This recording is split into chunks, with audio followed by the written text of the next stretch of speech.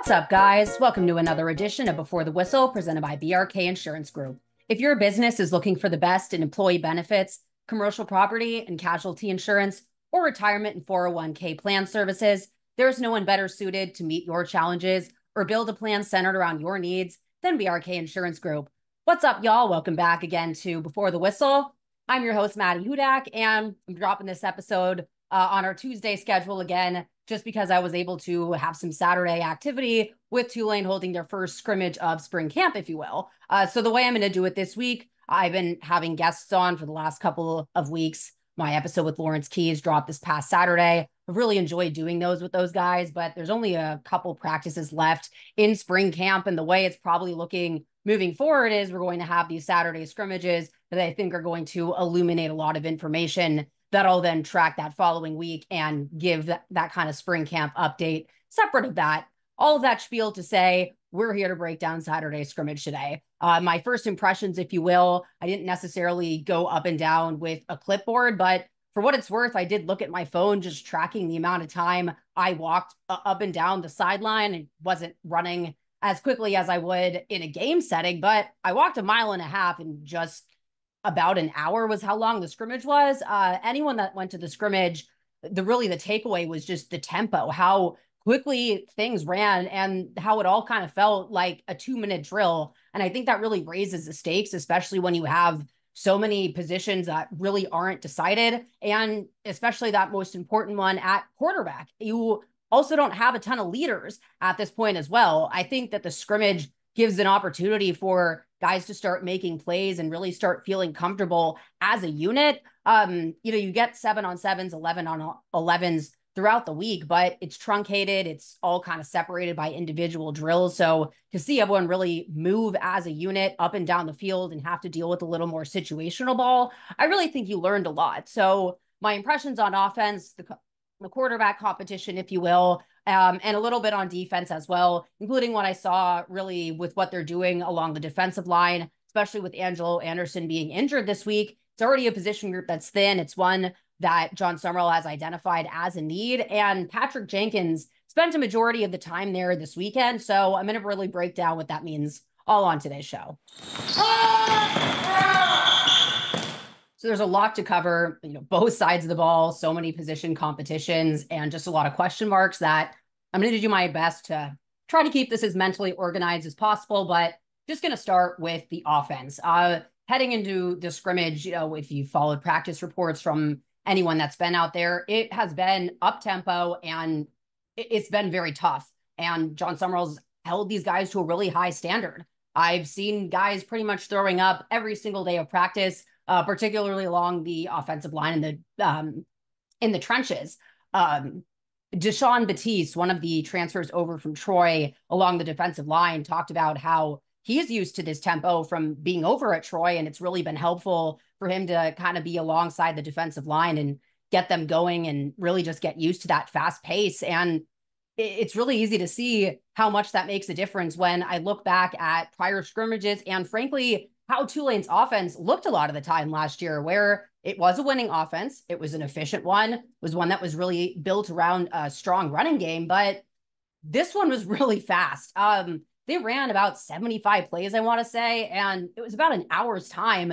All quarterbacks got two, three, multiple times um, under center. And while we saw quite a bit of running plays throughout the day, it, it really struck me that previous scrimmages were just extremely run heavy. And while you really know what was going on at wide receiver most years, especially at quarterback with Michael Pratt, a lot of the games, uh, including the spring game, there really weren't that many completions. Um, the defense usually won the day, and we've seen how good Tulane's defense has been the last couple of years. Uh, but it's really hard to tell kind of is that the offense as an issue? Is it the defense as an issue? Or are we really just kind of making a lot out of nothing? Um, and this year it's just completely different where I'd say the defense started and won th- the day being the winning side of the ball, but every single quarterback had really flashing moments, also some bad moments, which I'll kind of get to, but you really just felt like there was so much going on on both sides of the ball and so many guys got really critical snaps and experience just finally playing football as much as you could see. Um, it, it the tackling was pretty hard for it being a scrimmage, and there were a few injuries, but nothing really that severe. And one of them was Keith Brown, who just made this incredible leaping catch in the air, and it was just the way he came down on his shoulder. With Jon Sumrall saying afterwards that they think it's probably just an AC sprain, and he would be surprised if we didn't see Keith Brown for the rest of spring camp, but he, he made it pretty clear that you know Mario Williams and Keith Brown are really those strong guys at wide receiver, and we've uh, all talked about how much talent there is in that group, but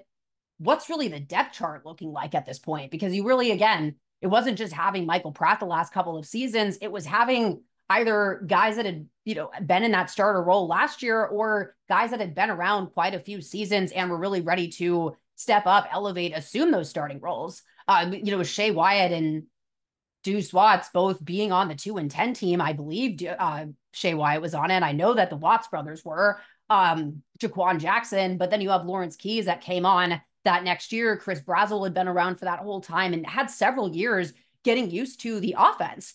Um, and there weren't any wide receivers that came over from Troy that would have familiarity with Joe Craddock's offense. So everyone out there is really it's all just completely new. And these guys under center, you're looking for them to be leaders, you're looking for them to have command of the offense. But as Jon Sumrall pointed out in his post game comments, if you will, he wants them really to have the playbook mastered to the point where they're able to see what the defense is give, giving them and make calls based on that. I think he really just wants to see someone step up and assume that role. But you could say that about several positions at this point, and that was really the first time I think we saw everyone get their feet wet.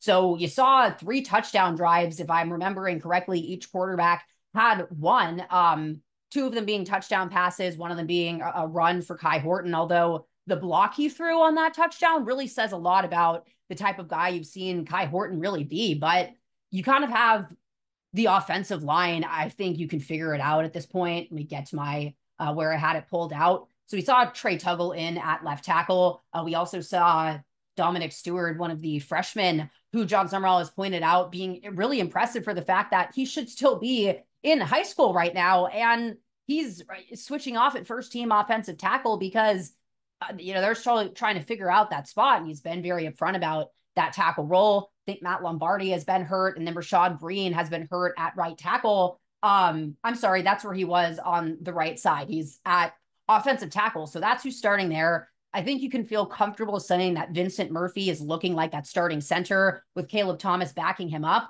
Um, the last couple of weeks at practice, though, Caleb Thomas has been injured. Him coming back has made, I think, a really big difference in the line as a whole and really being able to evaluate them for their strengths because Josh Remetich was just doubling a lot, having to play that backup center role. And they've kind of don't have the depth for you know, a three deep at this point. And so, you know, a lot of these guys are running multiple reps with the ones and the twos. And so when you have a guy missing at one of those backup positions, it just is really hard to kind of not be exhausted all the time. So I thought you saw them really finally kind of move in concert and move as a unit. And um Reggie Brown was someone that stuck out to me as really being someone that I wasn't looking that much at prior. And maybe that's just because we haven't seen them really look at that position much. Um, you know, Alex Bauman is injured. One of the freshmen who plays that position as well got injured in practice last week. And so Reggie Brown is kind of that top man. And then you saw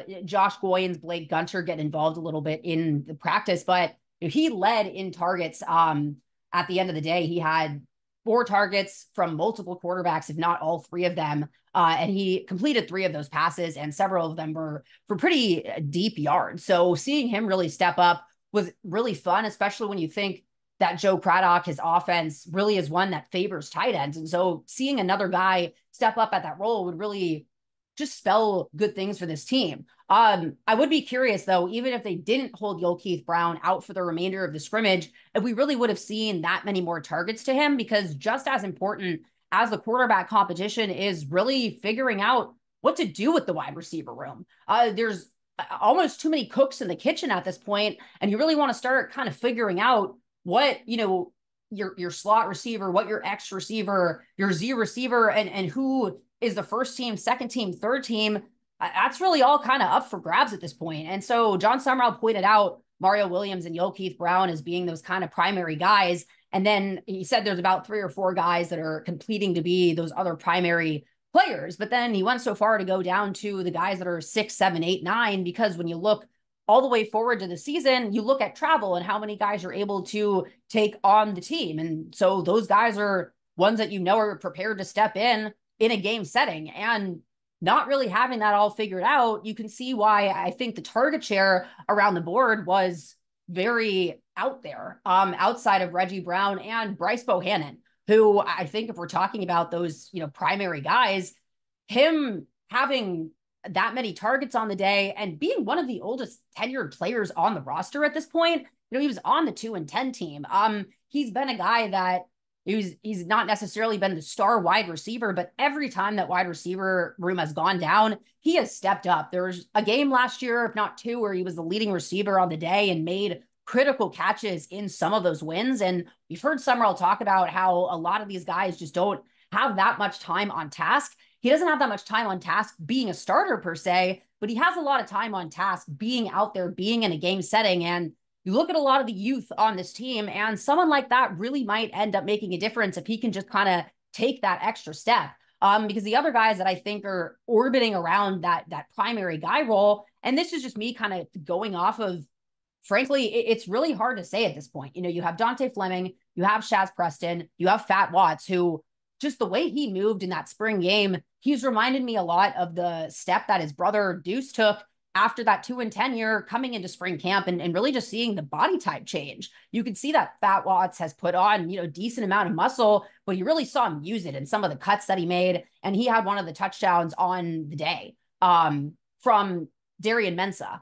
But looking at those guys and then probably Therese Trainer, Jalen Griffin, and Sean Nicholas, you know, that that's a lot of names, but it, it's not really anything that you can say at this point are in some sort of an order. And with them all kind of getting targets here and there, and they're not being a starting quarterback per se, it's a little difficult to point to, you know, a definitive moving forward on the roster. But, you know, I just think off the top of my head, Shazz Preston has just looked strong. Um, you've seen flashes from Therese Trainer and Jalen Griffin, although Therese Trainer had two incompletions on his two targets on the day. And again, this is just one scrimmage. What I'm really looking forward to this week in practice is it was something that Jon Sumrall talked about moving into this scrimmage was something you referred to as um, the equip and the engage and equip phase, uh, talking about his process of development with us. And he's just been incredibly candid with the media. It's really made this enjoyable and just easy to break down the amount of information that we have and yet don't know just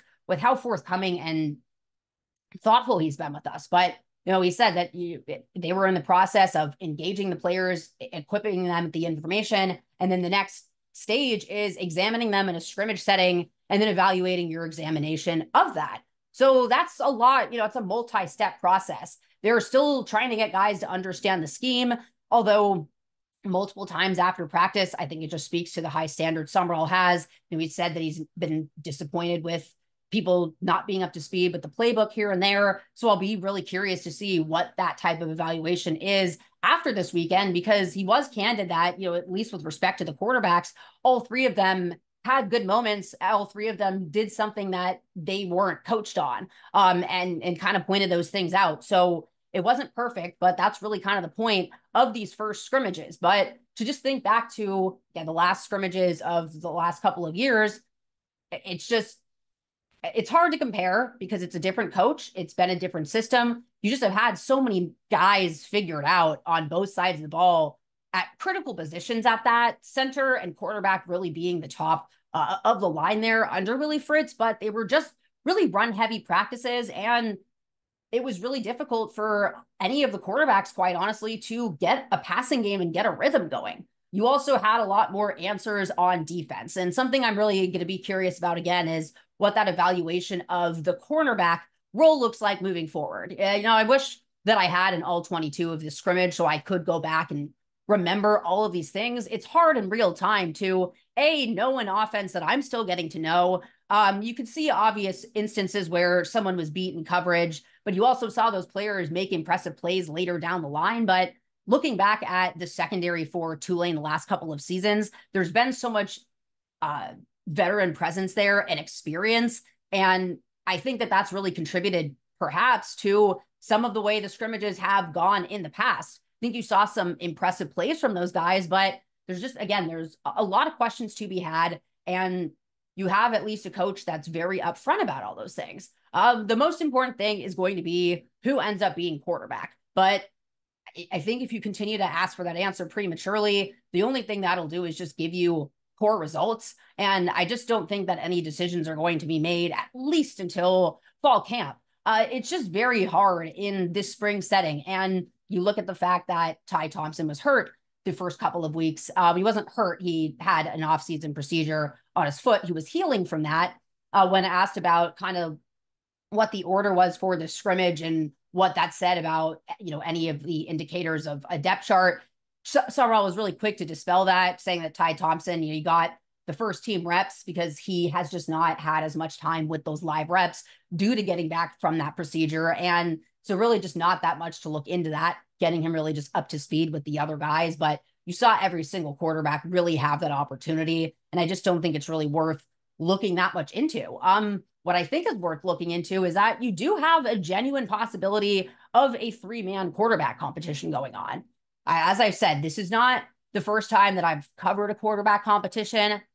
I'm assuming it won't be my last, although I hope that I do have some time off here and there. Um, you in the NFL, you don't have necessarily the spring camp to be able to look at this in such a, a extended way and you know, we're not getting invited to saints scrimmages per se during uh, spring just because that's it's just a different way that the nfl works. But having these scrimmages in that spring setting it, it makes it a little different to look at. And i'm trying to think of what the quarterback situation was for the saints in the spring of that year and whether or not there was an opportunity to do anything different than roll into fall camp with both Jameis Winston and Taysom Hill really being those only two options. But you looked at their depth chart at that point, and they had Trevor Siemian and Ian Book. Um, it, Ian Book looked good in training camp.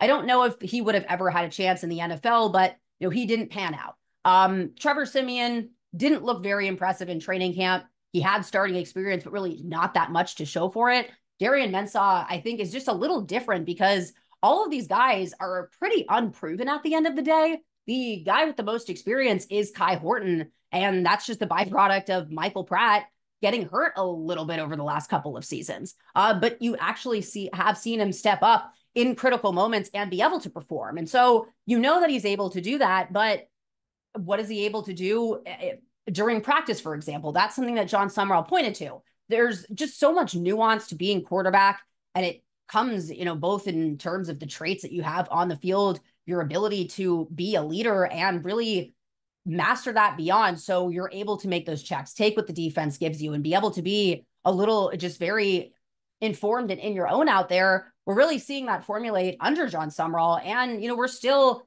in stage one of this exam phase where you're going to see another scrimmage this weekend and then you're going to get the spring game. So making any snap decisions off of the first one would really just not be that wise. But I, I think it's safe to say that you've seen the promise from all these guys. You've seen where they've had a little bit of weaknesses. The coaching staff's been very uh, upfront about those weaknesses. You have to take into context just how much turnover there's been, but really just what due diligence does for having this competition play out and, and have it be a very healthy one at that. And I think that that's something that really should be highlighted at this point, where these are all guys that they've grown up playing this position where you're the most important guy on the field. And a lot of them have that experience in high school, all of them having those records um, and that pedigree, but none of them have really gotten that opportunity in a college setting at this point. And with the most experience coming out of Kai Horton. And so you see really that fire there. And I think it would be very easy for tensions to kind of run high um, when you're all kind of battling for that position. But I think the fact that they've all been so collaborative that it's just been so encouraging and that the vibes have just been really exciting and they all talk about each other in just such a positive manner. I think that more than anything speaks to john Sumrall and his coaching staff and the position they put these players in to succeed. But I'm going to try and organize this episode as much best as I can. So I will dive a little deeper now just into my impressions of the quarterbacks. Ah! Ah! I, I think that it would be easy to just dismiss again Darian Mensah as being a horse in this race, but to do that, I think would really be a disservice to just what I think competition really means. And that doesn't necessarily just mean lay the best two guys win when there's a third guy involved here who has been making some really good plays as we've seen spring camp go on. You saw all of the quarterbacks both lead a scoring drive and lead a drive that really didn't go that well. You saw the defense win a little bit here and there in between. Uh, again, Ty Thompson was the one who started the day and he completed seven of the 14 passes that he had on the day. He threw for a touchdown to Bryce Bohannon. He had two completions to Bryce Bohannon. He also threw an interception on one of his drives. Um, he started the day with that incredible throw to Yulkeith Brown that ended up with him getting hurt, unfortunately. Then you saw a little bit of Makhi Hughes just showing what he can do. And I know scrimmages don't show that much about running backs. We all said that throughout the entirety of it last season, but you can you're just really comfortable knowing that Makhi Hughes is there and seeing what Arnold Barnes really looks like this year You've seen him play in a game setting, so it's different compared to this time last year where we hadn't seen any of these guys at running back play meaningful reps in a game setting. Uh, even albeit limited, you saw him out there and you really saw just his power, his burst, and really impressive speed for his size. He's really taken, you know, the time I think to just work on himself, his body this offseason. He's really just trimmed down a little bit. He just looks that much more cut and just moves a little quicker and just has a little bit more burst to start, that's a really good one two punch to have. So we saw a little bit of running, you know, here and there. Uh, you also saw some moves uh, coming out from the defense where I said they won the day to start off. Uh, just some really good reads from a lot of the secondary players, and then a lot of good play from Patrick Jenkins. He had a tackle for loss on the one reception that Mario Williams had. He just read that incredibly well. And then Matthew Fobbs White, we saw have a sack to Ed Ty Thompson's first series. Um, then on a scoring drive, he just looked really good out there. His command really sticks out. And it's something that I think you had to see a little more simulated in this type of setting. But he just really, you could see why the you know draw is there. He connected with Shazz Preston on that drive, as well as Phat Watts, who just, like I said, the cuts that he was making to get out of coverage, it really just looked like he moved different um, than we've seen in the past. And then he connected for a beautiful throw to Bryce Bohannon. It was thrown with really good touch. Um, just really what you want to see. Unfortunately, his following drive that he had was the one that ended in the interception. But you also got to see all the quarterbacks kind of work back from that, except for Kai Horton, whose day ended um, with his uh, uh, interception. Darian Mensah came in next. He went in with the twos, with Kai Horton then coming back in with you know the following series for the ones. He didn't really have that good of a first drive uh, intended for Dante Fleming. There was a pass breakup by Bailey Despaigne, who you know we can feel very strong about making some plays back there. Uh, he threw an interception in his second series, but I thought he really improved as the day went on, and that's what you want to see. One of the things I always said about Michael Pratt was what I was most impressed by him was he took care of the football, but the way he responded after he threw interceptions just said a lot about the quarterback that he was. He didn't panic. He didn't try to all of a sudden get cutesy out there or all of a sudden shy away from making reads. You know, he just really went out there and kept playing football. Uh, and that's what you saw Darian Mensah really do uh, in this scrimmage. Then you have Kai Horton come in, who has the most real experience doing this. And so he looks very comfortable out there. What I really liked about his ability was just the tempo with which he moved. It just looked like he was executing a, a two minute offense. And I'm pretty sure it took less than that. And you think back to the Cotton Bowl, you think back to you know those last two drives. The first one was 23 seconds long. You need to be able to do that in critical settings. And they've really treated spring practice as a whole like a critical setting. But it's good to see just quarterbacks operate with tempo and see that command out there. Um, with him just having the most experience, you really want to see him be comfortable and confident out there and, you know, one of his throws was just this beautiful pass to Reggie Brown, who I think just really came along in this uh, spring game. But what I liked the best, my favorite play of Kai Horton's was I also liked the fact that he was really okay with only throwing one pass on his first series. I think that says a lot about the person that he is, where this is, again, this is a competition. This is them really wanting a chance to show what they can do. And they're really all just team players out there. But he ends up th- handing off the ball to Arnold Gold Barnes, who just had this incredible run, um, just burst through there. But what impressed me more than anything else was Kai Horton stride for stride through a considerable block on that play that allowed Arnold Barnes to get the touchdown. would I like to see that in a game setting? Probably not. I don't want to see the quarterback ever lowering their shoulder per se, but sometimes that's just the nature of the beast of being a competitive person. And seeing that come out in this type of setting is really good to see from Kai Horton. And you could just see how comfortable he was running this offense. Uh, as I said, he ended the day throwing an interception. And with Jon Sumrall saying after the fact, you know, every single quarterback did some things where you can really see their potential and did some things where you could see, you know, their room to grow. Uh, he pointed out that the interception Ty Thompson threw was the wrong read today. Uh, he pointed out that there was another play where the defense was outside, or I'm sorry, they drew the defense offsides. They rolled the pocket and the quarterback ran the other way, not where they're protected. So you're seeing a little bit of those kinks work out here and there. The way you described Ty Thompson is you really point to his physical traits and you can just see when the picture's clear for him what he can really do. Kai Horton, he has that experience, but as Jon Sumrall pointed out, you know that he's comfortable there because he's done it the most and he wants to see a little bit more urgency out of him in a practice setting and that Kai Horton knows that. That's where I really think you're needing to see these quarterbacks step up, especially following the scrimmage. Now you've gone out there and played some football, but you need to see some urgency and some leadership, and those traits really start to step up and show in a practice setting. Because I think if not, that's where you're really opening the door for this, you know, three man race for Darian Mensah. Um, I, I think that it's any quarterback's chance to run and grab with it at this point even though there's a little bit of an edge to those first two guys, Jon Sumrall described him as an extremely pleasant surprise. He said that he's been very calm, confident, loves to get coached on details, and takes coaching points really well, is actively looking for that feedback. So could that all be, you know, a little bit of coach speak to just kind of give that out there and not give away any of what they're thinking about at quarterback? It's entirely possible, but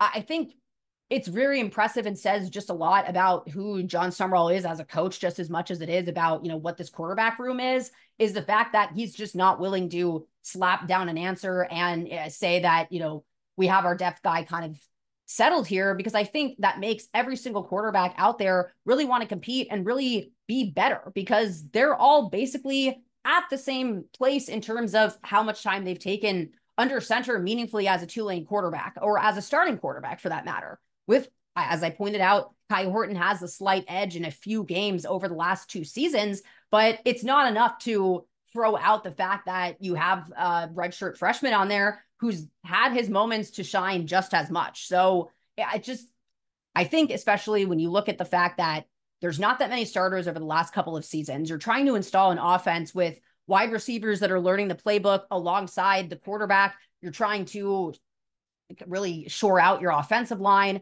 You have uh, some guys playing on there that don't have that much experience, like Dominic Stewart, who are, are out there because of injury. And I, I think it would make things a lot easier for the offense as a whole if you were to name a starting quarterback or give one an edge here or there, because you could get used to seeing what quarterback has chemistry with what receivers and answer a lot of those positions a lot quicker. But does that do any service to any of those position groups out there to do that just for the sake of being able to install and move along a little quicker in the spring, I, I just don't see any merit in doing that. And I don't think that you can glean enough information out of these couple of scrimmages that if you were already predisposed to make a decision prior to fall camp, I, I just don't think that it would really matter either way. Um, but I think that you can take at face value that this is a competition that is going to play out. They're not that dissimilar of quarterbacks they all have kind of been connecting with similar guys here and there, but it also makes the wide receivers have to step up too because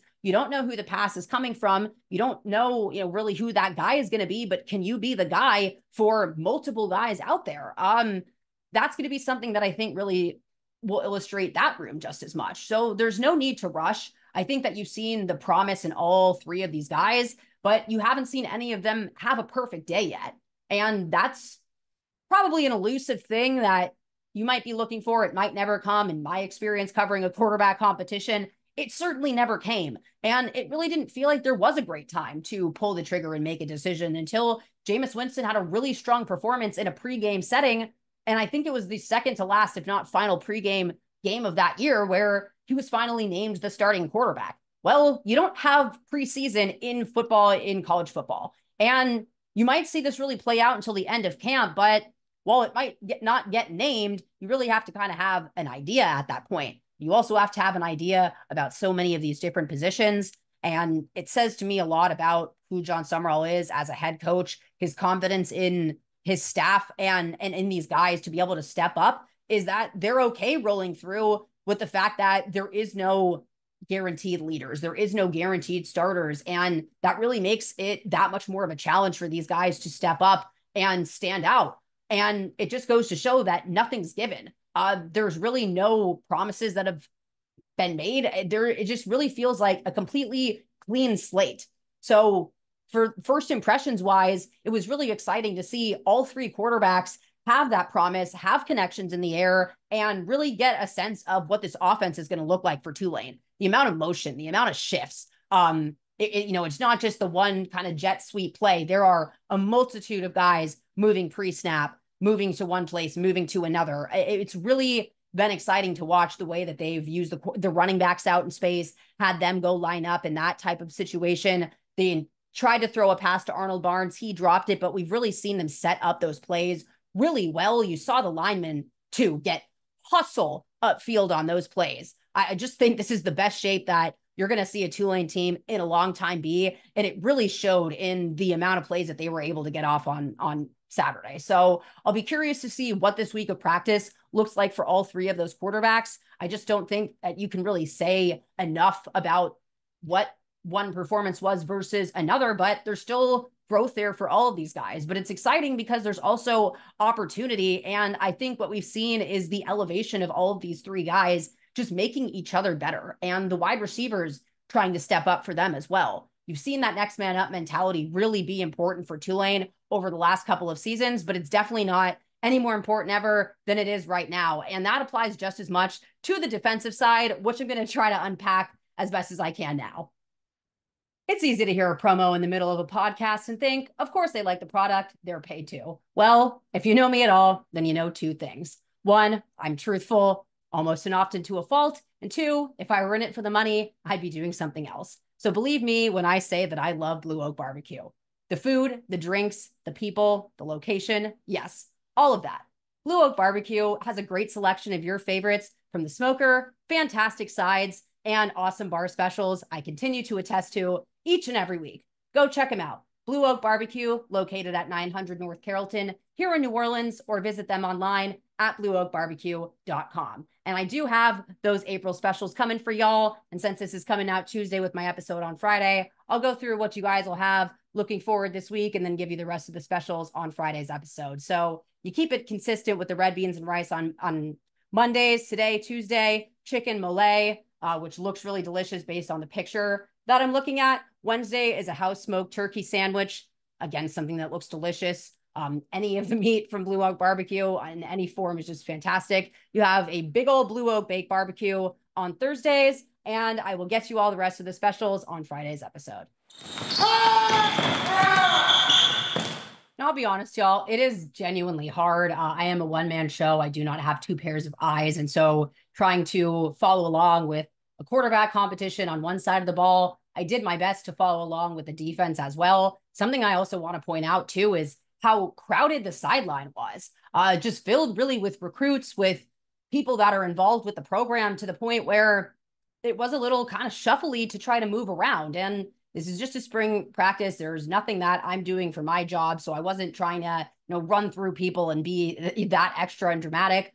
What I will say is I usually stand behind the defense when I watch games. And the way I kind of just fell with with my watching this last Saturday, I was behind the quarterbacks, especially just trying to pay attention to that competition. So I will look a little more at the defense moving forward into next weekend. But what stuck out to me really on the defense that I'm going to break down is what we saw at defensive end in Patrick Jenkins and just the fact that, like I said before, it's really hard for me to say at this point if the wide receiver room has looked really impressive just because of the pedigree there, or if you're seeing a little bit of that inexperience at that cornerback role. Uh, we saw Jai Eugene Jr. and Lou Tillery be those starting uh, cornerbacks throughout the day. Caleb Ransaw at that spear anchor role coming over from Troy, and then Jalen Geiger and Bailey Despanie at safety. I, I will say that safety you have a little bit of a safety valve uh, there, if you will. Jalen Geiger, just the size of him continues to stick out. I wrote down in my notes, I, I, was trying my best on my phone. It was you know, a little hot out there, so it was hard to see, but I noted that he just flew down from the third level on one of those plays and just blew one up in the backfield. You saw Kevin Adams make a play like that as well. He also had, I believe, one of the interceptions of the day. Um, now I'm completely blanking on whether or not he did, but yeah. Um, he was also involved in the in the play that Patrick Jenkins blew up alongside the reverse. Uh, Jack Chinchu was someone that stuck out to me as well. I wrote down that he really made a great tackle in space, and you could safely say that between Jalen Geiger, Jack Chinchu, and Bailey Despanie, that strong and free safety role is really hammered out there. And you can comfortably kind of say that Caleb Ransaw is at that starting role uh, for that anchor role, for that spear role. And he spent a decent amount of time there back at Troy. And as just again, as impressive as we've seen the play at cornerback be, you do continue to hear Jon Sumrall's comments about the amount of youth that's at that role. Uh, when I was doing you know my defensive work for the scouting academy, uh, one of the things for defensive back that they had us read was this article about what you don't know about playing cornerback by Richard Sherman, who most of his written pieces I genuinely recommend. He's incredibly insightful, and just the way that he story tells in this one really it gave me a lot of insight into the position. And he just starts out with this anecdote that I think says a lot about all of the factors and experience that's required to play that cornerback role. It was a game in Minnesota. It was six below, and he could barely see out of his foggy visor. Uh, he could the the way that he knew that the ball was snapped was he felt the receiver in front of him engage and push off. He literally couldn't see out of his visor. So because of that movement, he knew it was a screenplay. He went to go look for the quarterback, but he couldn't see the quarterback at all because of this fog and these shadows on the field and and the fog in his visor. The only thing that he could see when he looked down was the wide receiver's legs and the purple and white on his socks. He then thinks back to seeing the screen pass a few times on film, was able to calculate in his head based on the timing of when the receiver hit him initially, when he recognized that it was a, a screen, to know when it was coming to him. And he calculated that in his head. And at the exact correct moment, based on his timing, hit the wide receiver and knocked it incomplete. And, you know, he points to his instincts and his preparation to both uh, recognize the play and then nail the timing. I think that really is just a microcosm of how difficult and how much experience is required to play at that role. And thinking back to when I had AJ Hampton, Lance Robinson, Jarius Monroe, all these defensive backs from Tulane on my on before the whistle over the last couple of weeks, I keep thinking back to when AJ Hampton said that a lot of the time he would almost act as a spy for Lance Robinson and Jarius Monroe on the sideline, looking at the wide receivers, looking at the way they released, and then would go over all of this time that they saw it on film. But you can see as much stuff on film as you want. It really has to, you have to be able to see it in a game setting. And something, you know, that um, Jon Sumrall brought up afterwards that I think speaks just as much to the difficulty of it as, as Richard Sherman's comment was, you know, just what does it look like when you're looking at the speed of the game, route recognition, and, and something like split spacing? The guys lined up on the hash, what does that tell you? Versus the divide, what does that tell you? Versus him being on the numbers. It, it's such a technologically difficult position. It's a that's the reason that it's considered one of, if not the most difficult position group to start with with the scouting academy because it just requires so much terminology and understanding and memories and tendencies and film study. And then can you put that all together on the field? Can you make plays? Uh, it's a lot easier when you've had experience seeing quarterbacks out there where you've seen this wide receiver out there, especially being used to playing them in the conference. And so you don't really have any of that at quarterback. Obviously, guys can always step up. And you know, we've seen it time and time again at Tulane in a lot of these positions. Michael Pratt is a perfect example at that quarterback position. It's certainly possible, but we'll really have to see how that group kind of moves moving forward. Uh, the linebackers, you really just saw Dickson Agu across from Tyler Grubbs. I thought they really looked strong in the, this game. What I was looking for more than anything was the defensive line and how that was shoring up. Um, Angelo Anderson has been hurt. I don't think it's that serious, but edge is really that position that you're missing guys. You're missing Devin Deal. You're missing uh, Darius Hodges. You're missing Keith Cooper. Um, and, and we saw that group get pretty thin last year to where you you had a couple guys playing out of position and being a little exhausted and it just goes to show how quickly depth on the defensive line can become non-depth at that but you know just really trying to even look at what are we doing here in a, a practice setting i think that you saw the fact that you saw patrick jenkins get moved over to uh, that exterior role just says a lot um let me pull up where i had the depth chart for the defense i'm doing absolutely fine there's so many notes from this game guys um totally losing it. So rather than losing my train of thought, I've lost my notes. And we're all just going to do to do like the Jeopardy theme song. Here we go. Um, thank you, everyone. You saw Elijah Champagne and Eric Hicks play those those interior defensive lineman roles. You saw Adonis Friloux out there as well. What I will note about Adonis Friloux, we haven't seen him much if any, uh, over the last two years because of injuries. He missed the entirety of the Cotton Bowl year. He went down right before the season started. And I remember that being a very big thing, something they were really looking at heading into the Kansas State game because you lost about 30 pounds on the nearest backup when Adonis Friloux went down. And when you saw him out there in practice, uh, he just has an extra size that, excuse me, if you're looking for a true nose tackle, you really have that in him and in this 3 4 system to be able to anchor that around him. Uh, you saw Matthew Fobbs White start out at the rush end, and then you saw Patrick Jenkins as um, the edge. So it was Patrick Jenkins, Elijah Champagne, Eric Hicks, and Matthew Fobbs White. You saw Michael Lunds come in there a little bit on the edge as well. Um, I, I think that it's safe to say that it's not just a move that they only put out there because Angelo Anderson was hurt. Uh, I've said that the interior of this team is pretty stacked. You have Cam Hamilton, you have Patrick Jenkins, you have Elijah Champagne, you have Adonis Friloux, you have Eric Hicks, and those are all guys that have been on this roster for a long time uh, playing with one another, but you have no one at edge. And you saw Patrick Jenkins actually make some really good plays there. But the way that you have to play that role is just completely different than playing defensive tackle. You know, it's not just oh, let me move this guy a few inches off to the side. Uh, it's the position group that I'm going through in the scouting academy right now. And it is, it's incredibly nuanced as is every other position, but you're the key might be different. Um, and I think most guys in college are going off of your man key because uh, a ball key timing is a little harder to look at, but there are some times where you could see the ball snap based on where you're lined up and others where you're just purely relying off the man in front of you. That differs if you're, you know, shaded as a zero tech, as a three tech, five tech, six tech. It just completely changes the way that you your angles are. Uh, your upfield burst matters a lot more at the edge roll. You know, defensive tackles, they're penetrating vertically, but they're not really expected to burst five yards upfield. It's a lot more of that engaging and attacking a gap. But on the edge, it, it's do you have a pass rush plan? What are your first three steps? Taking an angle, having that speed, having that explosion.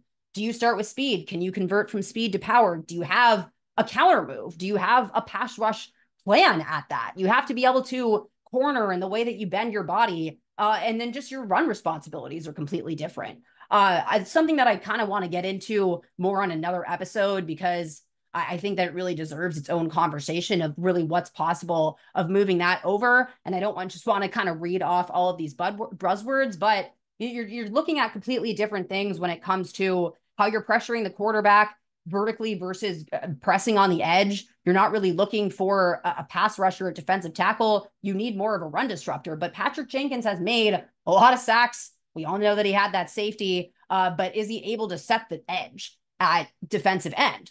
And so it's going to be very interesting. And that's something that I really want to spend a little time at that defensive line group over this week's practice because I think that I've seen, you know, not that I've seen enough of the quarterback competition, but I think it's safe to say, like I said, you've seen the promises, you've seen the highs, you've seen the lows, and you'll get answers as time comes on. But I really do just want to sit down, look at that defensive line group and see, you know, what the consistency is there moving forward. And if Patrick Jenkins ends up staying there, then I think, you know, really having a conversation about what we would have to see him make that type of elevation and that type of jump moving forward. So while you have a lot of experience at defensive line, you could say that you have it at linebacker, although you're missing Jesus Machado, but you have Tyler Grubbs. You have some guys that might be playing a little different position, and that just changes the way that all of them have to play. You have probably some answers at safety and a little bit more experience than you do at cornerback, but that's one of the more difficult position groups in terms of